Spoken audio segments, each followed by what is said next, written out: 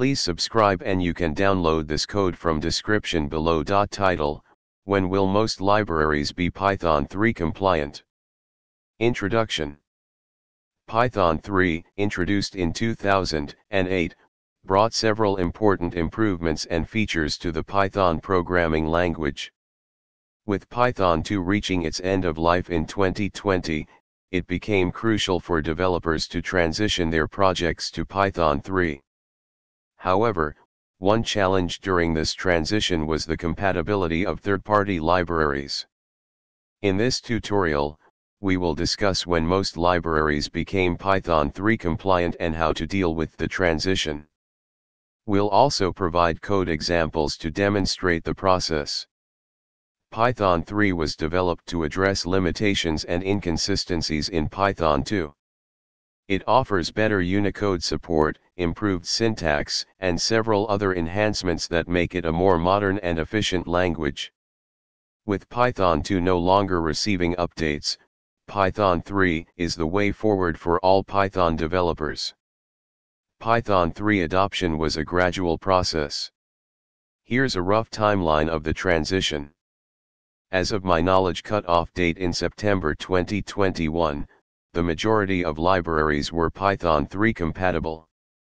However, the status of individual libraries may vary, so it's essential to check compatibility for the specific libraries you use. To check if a library is compatible with Python 3, you can use tools like caniusepython3.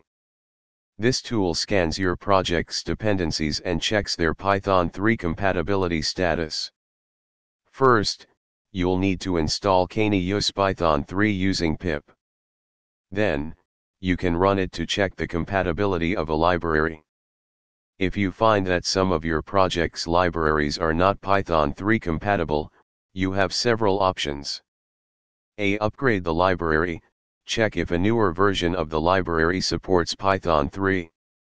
If so, update your requirements.txt file to use the compatible version. B. Fork and modify, if a library is no longer maintained, consider forking it and making the necessary Python 3 compatibility changes. Contribute these changes back to the community if possible. C. Seek alternatives, if a library lacks Python 3 support and there are no viable alternatives, you may need to rewrite or replace that part of your code. Here's an example of updating a library in a requirements.txt file. Remember to test your code thoroughly after upgrading libraries to ensure it works correctly with Python 3. Python 3 is now the standard, and most libraries have become Python 3 compliant. Transitioning to Python may third require updating your project's dependencies, but tools like caniusepython3 make it easier to identify and address compatibility issues. Stay up to date with library releases and the Python community to ensure a smooth transition to Python 3 for your projects. ChatGPT